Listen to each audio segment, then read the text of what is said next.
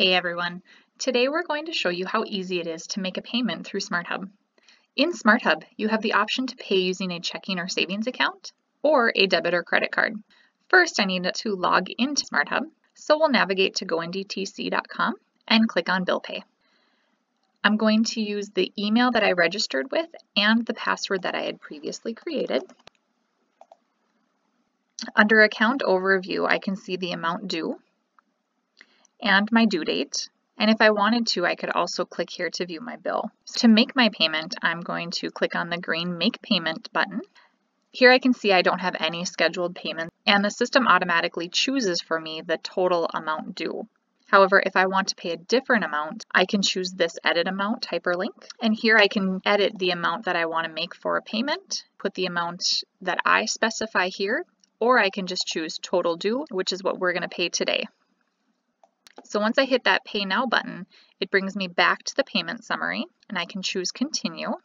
Here I have the option to pay with a new card or pay with a new bank account. Today I'm going to choose a new card and I can also choose what date I would like to make that payment.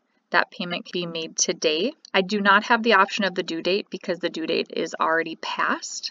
And I can also choose other. Now, if I were to enter a date that's past the due date, I'm going to get a little notification that says that it is past the due date and to please call our office to set up a payment arrangement as services may be subject to late fees and or a disconnection of service if the payment is received after the bill due date. Today I want to make that payment right away so that past due is taken care of. So I'll choose continue.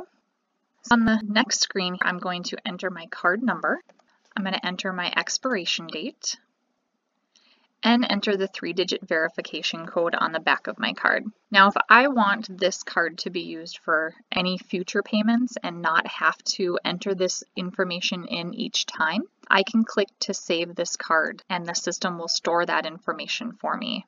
And in the future, I can just select that payment. I'm going to choose continue here after I've verified my information is correct. And then I get the option to confirm. I can verify my information, the total amount that I want to make for a payment, the date I want that payment to pull, and if I choose the payment date of today, it's going to pull those funds immediately. Once you're all set with that information, you'll just choose submit, and then you'll receive a payment confirmation.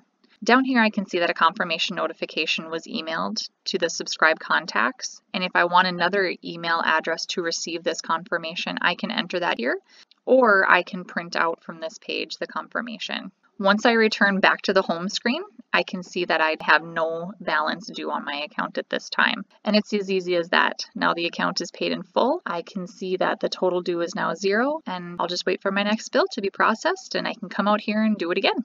Hope you all have a great day.